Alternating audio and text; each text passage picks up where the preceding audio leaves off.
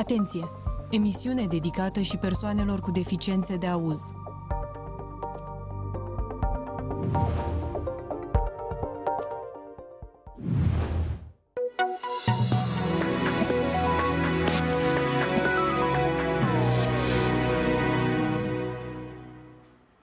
Doamnelor, domnilor, bună seara și bun găsit la telejurnal. Și taximetriștii craioveni au ieșit astăzi în stradă să-și strige nemulțumirile. Vă spun mai multe detalii în telejurnal, după titlurile ediției.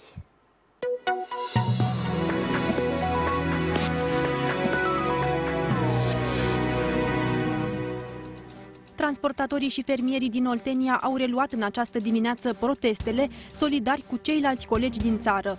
Traficul s-a desfășurat cu dificultate, ceea ce i-a nemulțumit pe șoferi.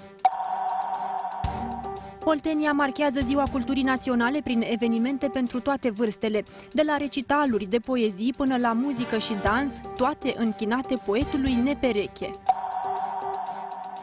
Universitatea Craiova a încheiat cantonamentul din Antalya cu o remiză. Oltenii se întorc azi în bănie și încep să pregătească meciul cu Farul, programat duminică de la ora 20 pe stadionul Ion Oblemenco.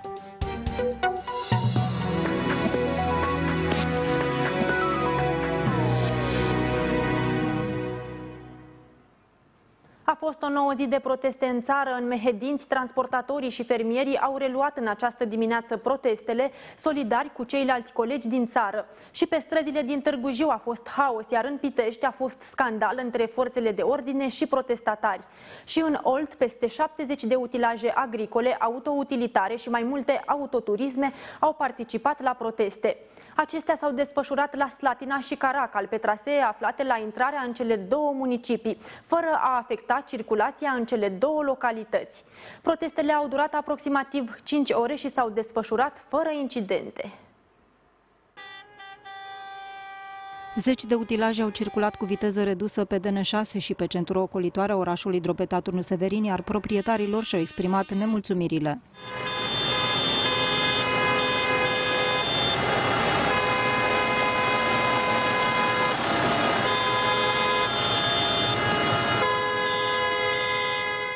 Foarte mult prețurile la inputuri, semințe, îngrășăminte, motorină, totul nu se mai poate. Trebuie să facem ceva. Grâu s-a ieftinit foarte mult. E invazia cu Ucraina, al doilea rând taxele care s-au, ni le-au mărit foarte mult, nu le mai putem suporta. RCA-ul pentru transportatori care este și pentru noi ne-au, ne-au dezamăgit și nu mai putem, suntem în faliment. Am ajuns la capătul răbdării, nu mai putem suporta ceea ce se întâmplă cu noi, cu fermierii și cu colegii noștri transportatorii. De trei ani de zile ne confruntăm cu prețuri mari la inputuri, secetă, nu suntem ajutați cu absolut nimic, nu se mai poate. Din cauza protestului, traficul a fost îngreunat, ceea ce a nemulțumit pe unii șoferi. Vreau să ajung la insulină și nu pot să trec din cauza asta la motru. De-aia nu, nu, nu știu ce vor să facă. În Târgu Jiu, zeci de camioane și autoturisme aproape că au blocat traficul. Șoferii s-au solidarizat cu protestele din București și din țară și au cerut guvernanților să reducă taxele, dar și valoarea asigurărilor RCA.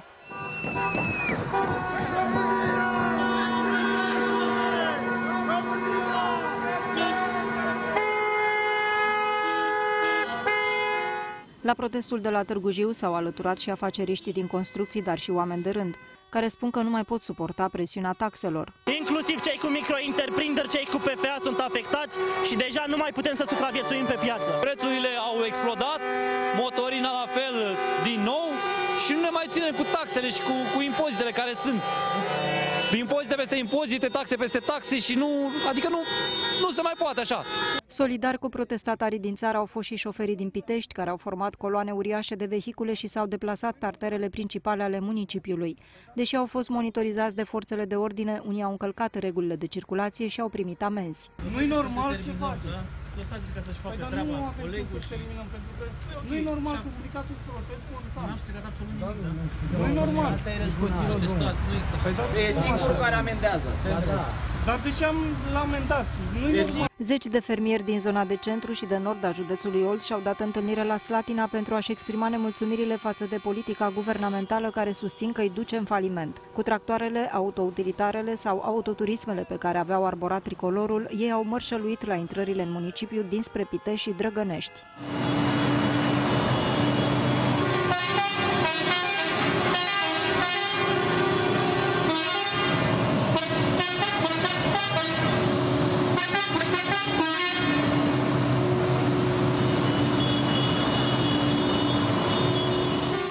Protestăm în primul rând pentru stoparea importurilor de cereale din Ucraina și întreruperea tranzitului acestor cereale prin țara noastră. Practic, portul Constanța este inundat cu cereale care vin dintr-o țară care nu respectă uh, normele de producție impuse în Uniunea Europeană. Noi producem la niște costuri ridicate tocmai dator, din cauza acestor norme. Ei vin cu o marfă care nu-i conformă pentru piața Uniunii Europene și o varsă aici. Pentru RCA, care e foarte mare și nu ne mai putem încadra cu nimica, în general pentru prețul cu Ucraina, pentru prețul la cereale, care ne-a stopat, nu avem ce face. Ca urmare a protestului transportatorilor și producătorilor de cereale din județul Olt, traficul s-a desfășurat cu dificultate pe străzile Drăgănești, Artilerie și Cireașov din municipiul Slatina, unde au participat peste 50 de vehicule, dar și pe varianta ocolitoare a municipiului Caracal, unde au participat 10 vehicule. Polițiștii din cadrul Inspectoratului de Poliție Județean Olt au desfășurat activități atât pentru fluidizarea traficului rutier, cât și pentru asigurarea ordinii și liniștii publice.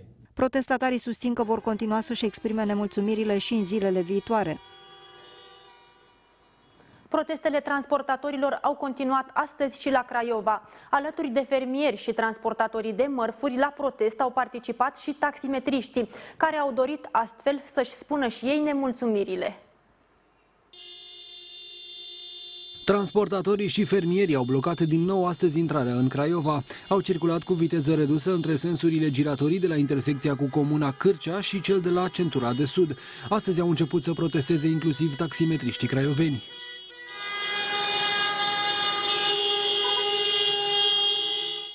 După ce s-au adunat și au circulat cu viteză redusă prin oraș, taximetriștii s-au îndreptat către ieșirea spre Pitești, unde s-au alăturat celorlalți protestatari. Nemulțumirile acestora sunt legate de taxe și de concurență. Asigurarea prea mare, toate cheltuielile mari. Asta este. Deci prețuri prea mari. Prețuri prea mari. Asigurările foarte mari. Neajunțurile. Mașinile sunt vechi. Neajunțurile. Neajunțurile nu suntem numai pentru taxi. Neajunțurile de zi cu zi, domnule. Perceaurile foarte scumpe, ni se măresc parcă de la an la an, fără nicio bază legală, nu înțelegem motivul, fără să avem probleme, accidente sau ceva de genul, plus accize mărite la combustibili. În fiecare an vedem același lucru, taxe și impozite mărite și pur și simplu nu mai facem față. În vară am fost la negocieri, ni s-au promis că vom fi ascultați, de atunci tot fac o comisie în care nu, care nu-și mai începe activitatea. Ni s-a spus că să așteptăm să se constituie această comisie și vom fi invitați la dialog, să schimbăm legea taximetriei, să schimbăm uh, ceea ce nu, nu suntem mulțumiți. Nu n-am mai auzit nimic de atunci. Protestatarii au încercat în mai multe rânduri să se îndrepte spre oraș, însă nu au fost lăsați de polițiști și jandarmi. Fermierii și transportatorii au primit dreptul de acces până la aeroportul Craiova, fără a afecta traficul și accesul în acea zonă și în aeroport. Decizia a fost luată astăzi de prefectul județului în urma discuțiilor cu reprezentanții structurilor de forță. Reprezentantul guvernului în teritoriu s-a întâlnit în cursul zilei de astăzi cu protestatarii. Prin aceste măsuri se dorește ca protestele să nu creeze blocaje în trafic sau în vămile din județ. La Craiova pot spune că ei chiar au avut o conduită extraordinară și le mulțumesc pe această cale pentru că au respectat întru totul indicațiile forțelor de ordine și am ajuns la un consens în sensul că au solicitat să-i lăsăm să, să protesteze vis-a-vis -vis de aeroportul internațional din Craiova. I-am am stabilit cu forțe de ordine am, de comun acord să-i lăsăm să, să protesteze astfel încât să nu blocheze nici intrarea în aeroport, nici traficul în acea zonă, Sperăm că lucrurile se vor reglementa la nivel central și se vor, se vor liniști. Eveniment de excepție aseară la Facultatea de Teologie Ortodoxă din Craiova. Ziua Culturii Naționale a fost sărbătorită în avans și a adus la oaltă oameni ai scenei, soliști ai Filarmonicii Oltenia din Craiova, dar și pe actorul Emil Boroghină, care a susținut un recital ce a durat mai bine de o oră.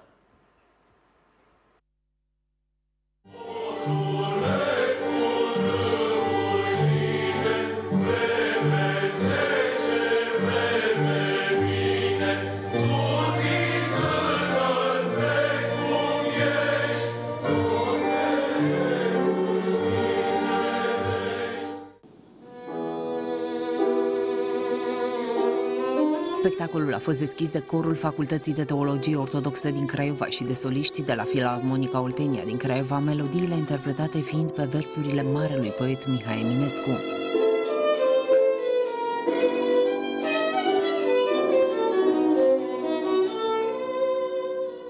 Poetul se exprima dorința de a fi înmormântat la țărmul mării, lângă o mănăstire, pentru a asculta în fiecare seară cântecul Lumină Lină de la slujba vecerii. Sintagma Lumină Lină este folosită și în poezia Răsai asupra mea. Noi muncind în tocmai ne-am ales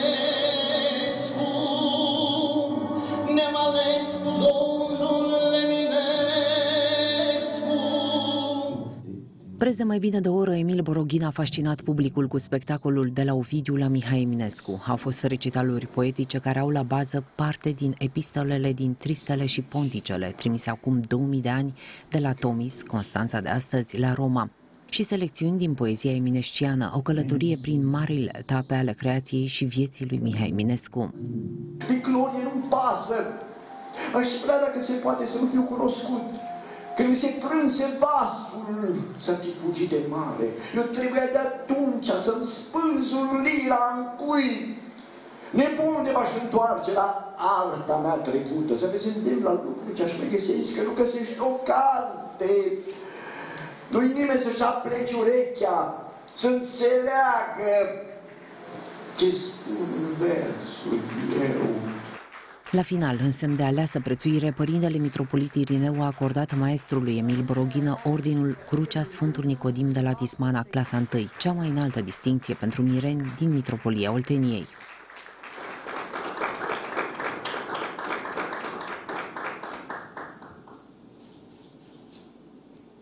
Dați-mi voie să împart această înaltă distinție acordată de înalt preasfinția sa, de profesor universitar Irineu Popa, mitropolitul Oltenii, cu colegii mei din teatru.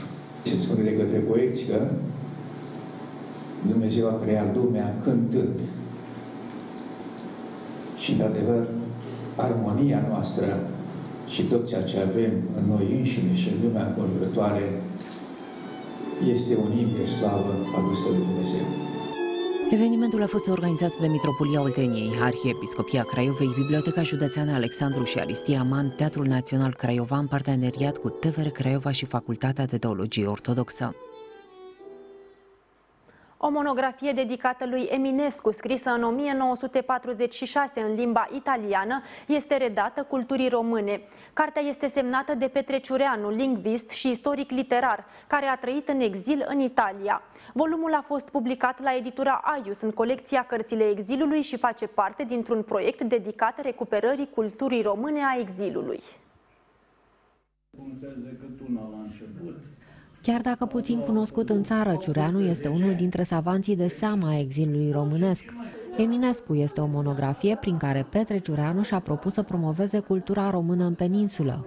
Astăzi, după aproape 8 decenii de la publicare, monografia a fost tradusă de Carmen Teodora Făgețeanu și publicată de editura Aius în colecția Cărțile Exilului.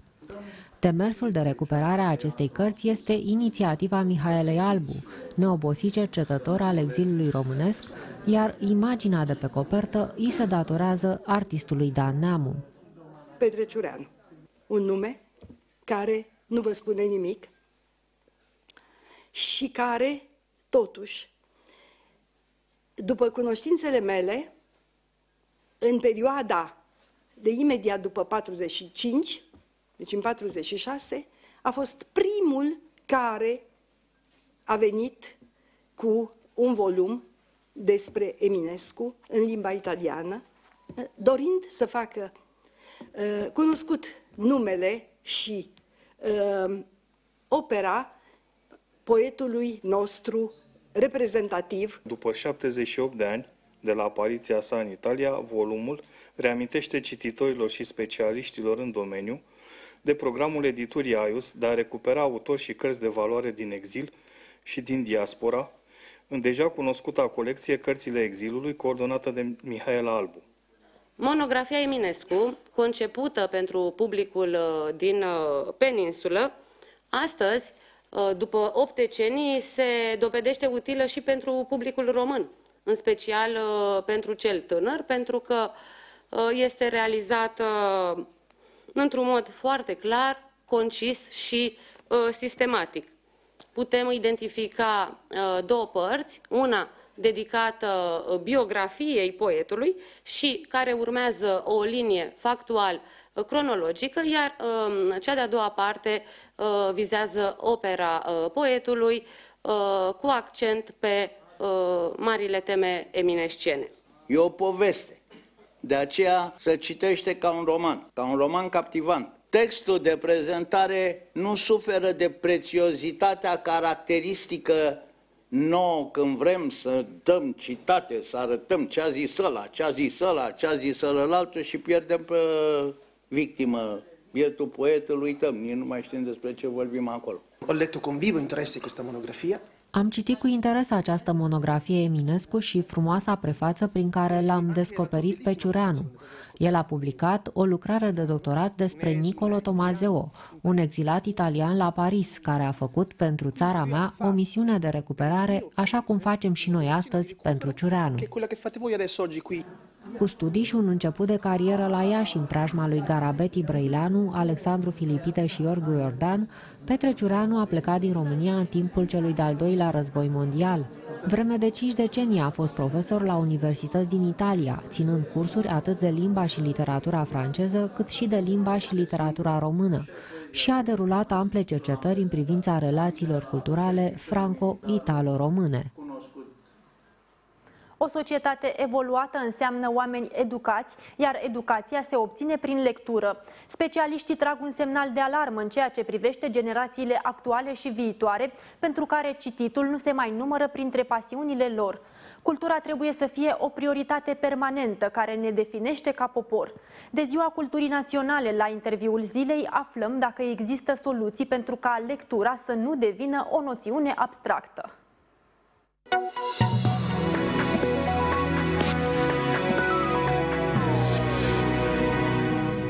Ceea ce uh, contează, zic, uh, în ultimă instanță, este ca uh, această zi a culturii naționale să fie un fenomen permanent care să se extindă asupra întregului an. Ar fi foarte important, nu numai din partea autorităților, cât și din partea publicului, să se acorde o atenție deosebită cititului fundamental, pentru că, așa cum știți, piața de carte din România este una dintre cele mai vulnerabile din uh, întreaga Uniune Europeană.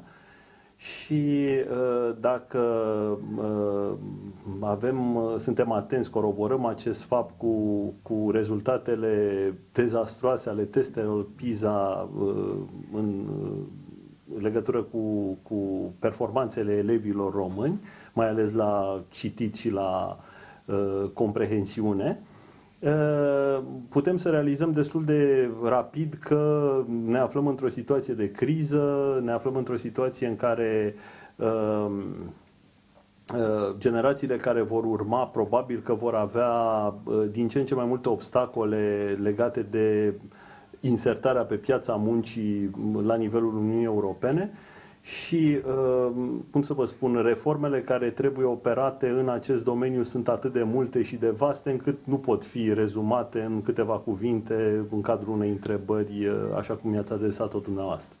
Totuși, ce trebuie subliniat aici este că uh, fenomenul atenției acordate culturii, să spunem în general, trebuie să fie unul de căpetenie, să spunem, Ehm, generațiile actuale citesc uh, puțin și sporadic și uh, poate că o mai bună acordare a pieței de carte uh, sau mai, o acordare mai bună între uh, cerințele pieții de carte și nevoile cititorilor propriu-zis uh, Ehm, ar duce la o îmbunătățire măcar, la o aleviare a situației, nu neapărat la o rezolvare a crizei despre care vorbeam. Educarea acestui gust public va dura, cum să vă spun, el a fost subminat în deceniile de după 1990 de o piață de carte inegală, eterogenă, uh, cu urcușuri și cu coborâșuri care au fost uh, gestionate nu în ultimă instanță de stringențele economice. Oamenii nu au câștigat suficient de mulți bani ca să investească în cărți, în lectură și așa mai departe. Iar a doua parte a problemei se leagă de uh, lipsa de interes a elevilor pentru citit în școală. Pentru ca generațiile următoare să fie interesate de lectură, ar trebui să fie crescute într-un soi de mediu artificial în care să nu aibă acces la uh, stimuli vizual de care vorbeam mai înainte, ori acest lucru nu este posibil. Nu, nu trăiește nimeni într-o seră culturală izolată de mediul exterior, uh, protejată cumva de stimulii aceștia de care vorbeam. Prin urmare, nu cred că se va îmbunătăți ceva fundamental în, în deceniile care urmează. Tot ceea ce pot spera este ca generațiile viitoare să fie mai articulate logic, să aibă capacitatea să-și expună ideile abstracte într-un mod cât mai coerent, să aibă capacitatea de a argumenta, Uh, să aibă capacitatea de a, se, uh, de a trece de la o meserie la alta și să aibă această, această mobilitate socială care să le permită uh, schimbările de paradigmă, să înțeleagă schimbările și să accepte schimbările de paradigmă pe piața muncii, mai degrabă astea mi se par fenomene importante și demne de discuție.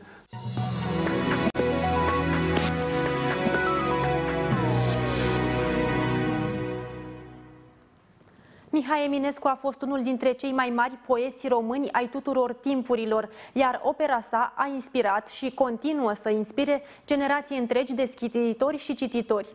Este așadar un nume cunoscut de fiecare român. Marele scriitor, considerat un geniu al literaturii române, nu a fost uitat nici de craioveni. Și cum astăzi se împlinesc 174 de ani de la nașterea poetului, i-am supus pe câțiva craioveni unui test pentru a vedea ce versuri din creația luceafărului literaturii universale pot să reproducă. A fost o dată ca în povești, a fost ca niciodată, din de mari împărătești, o prea frumoasă fată. Și era una la părinți și mândră în toate cele, cum e Fecioara între Sfinți și Luna între Stele.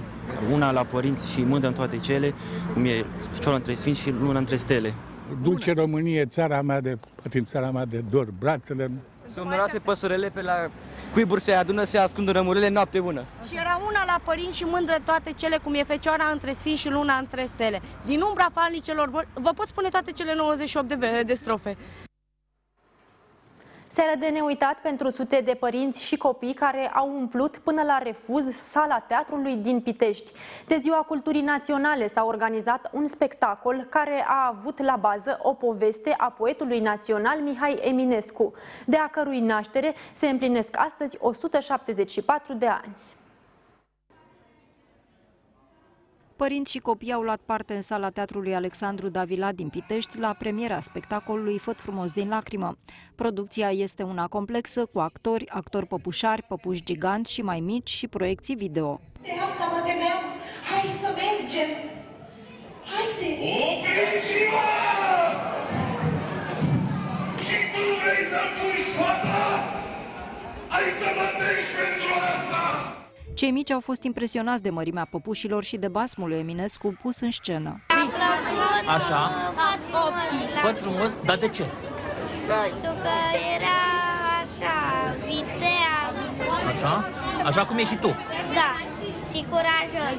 Mi-a plăcut uh, basmul, povestea, dar mi-a plăcut foarte mult cum a fost pusă de minunați. Uh, Regizor, actori, așa?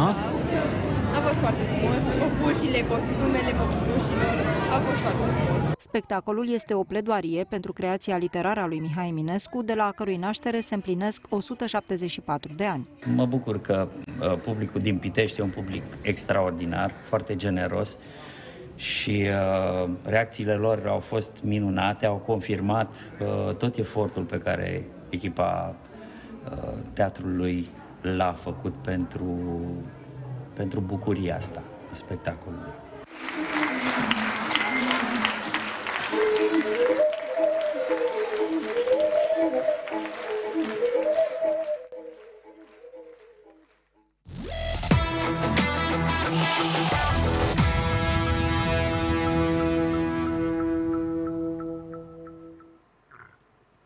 Universitatea Craiova a terminat la egalitate, scor 1 la 1, amicalul cu formația Slovaco din Cehia, ultimul din cantonamentul susținut în Antalya. O altă remiză în cantonamentul din Antalya, după același rezultat obținut cu o echipă de Liga a 4 din Germania. Oltenii au revenit astăzi în Bănie, unde se pot pregăti până la reînceperea campionatului programată pe 19 ianuarie. Universitatea Craiova a început în forță ultimul amical dinaintea startului campionatului. După o fază spectacol, călcăi Ivan pentru Bancu, acesta asist pentru Baiaram, oltenii au deschis scorul în minutul 14. Albalbaștrii puteau să aibă un avantaj consistent, dar au ratat multe ocazii de poartă din situații foarte bune. Ca și în meciurile din Superligă, alb-albaștrii nu au reușit să mai scuture plasa, indiferent de poziție. Chiar și atunci când s-au aflat în poziție de 1 la 1 cu portarul advers. Cum ocaziile se răzbună, spre finalul primei reprize, Ivan a fost neatent într-un duel aproape de mijlocul terenului, cehii au plecat pe contraatac și au restabilit egalitatea. Partea secundă a fost mai echilibrată. A intrat pe teren și a doua achiziție al balbaștilor Mardonado, în condițiile în care fundașul dreapta finlandez Soiri a fost din nou titular. Mă bucur că toată lumea este sănătoasă, chiar dacă Mitri a avut ceva probleme acum, dar nu e nimic grav, își va reveni cu siguranță. Sperăm ca și Screciu să-și revină cât de curând și suntem cu toții sănătoși ce să zic, ne-am pregătit foarte bine. În acest meci cred că ne-am descurcat mult mai bine decât în primul, în primul meci și sperăm să continuăm tot așa, pentru că cu cei care am jucat astăzi este o echipă, sunt o echipă puternică și ne-a ridicat la nivelul lor chiar mai bun decât ei. Eu zic că am făcut un meci bun, a fost ultimul meci al nostru, în care am avut ca obiectiv să ieșim sănătoși cu toții și după părerea mea cred că am făcut o partidă bună. Te dori să joci mai mult? Da, mi-aș fi dorit. Asta este. A jucat fani acum, probabil o să joc și eu din ce în ce mai mult, dacă mister va decide lucrul acesta și nu supăra pe lucrul acesta. Mă pregătesc cât de bine pot și când o să fie nevoie de mine, sper să intru și să fac un joc bun. Cum a fost pregătirea cu mister? A scos untul din voi, cum s-a spune? Uh, da, normal. Cantonamentele sunt uh, grele, pot spune, cu două antrenamente din care trebuie să acumulăm și eu spun că a fost un cantonament bun pentru toți. Pentru Universitatea Craiova urmează o pregătire pe plan local până la meciul cu Farul Constanța. Disputa cu Dobrogenii va avea loc duminică de la ora 20 pe stadionul Ion Oblemenco în cadrul etapei a 22 a Superligii.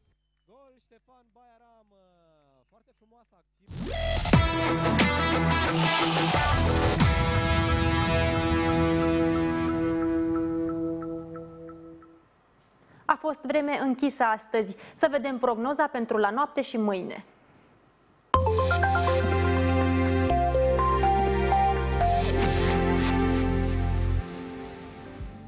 Astăzi vremea a fost apropiată de normalul termic al datei calendaristice în cea mai mare parte a regiunii.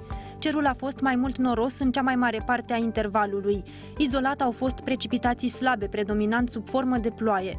Vântul a suflat slab până la moderat. La ora 16, temperatura aerului avea valori cuprinse între 1 grad Celsius la Voineasa și 5 grade Celsius la Drobeta, Turnu Severin. La noapte cerul va fi noros. Pe arii relativ extinse vor fi precipitații predominant sub formă de ploaie în jumătatea sudică, iar în zona subcarpatică mai ales sub formă de ninsoare. Pe arii restrânse, mai ales în nordul regiunii, vor fi depuneri de polei. La munte va ninge și se va depune strat de zăpadă. Temperaturile minime vor fi cuprinse între minus 3 și 1 grad Celsius. Mâine vremea va fi apropiată de normalul termic al datei calendaristice în cea mai mare parte a regiunii. Cerul va fi variabil, mai mult noros în zona de munte, unde pe arii restrânse va ninge. Vântul va sufla slab până la moderat, cu intensificări în jumătatea sudică a regiunii, dar și la munte. Temperaturile maxime vor fi cuprinse în general între 1 și 6 grade Celsius.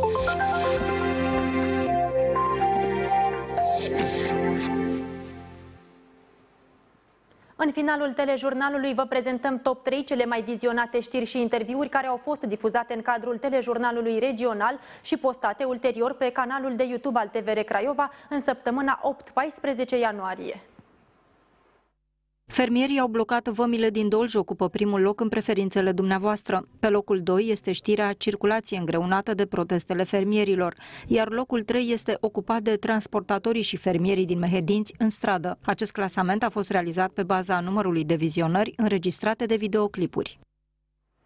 Jurnalul se oprește aici, însă dacă sunteți martorii unor evenimente care pot deveni o știre, ne puteți trimite imagini și informații pe numărul de WhatsApp 0746 145 204. De asemenea, ne puteți contacta și pe pagina de Facebook TVR Craiova. O seară frumoasă! La revedere!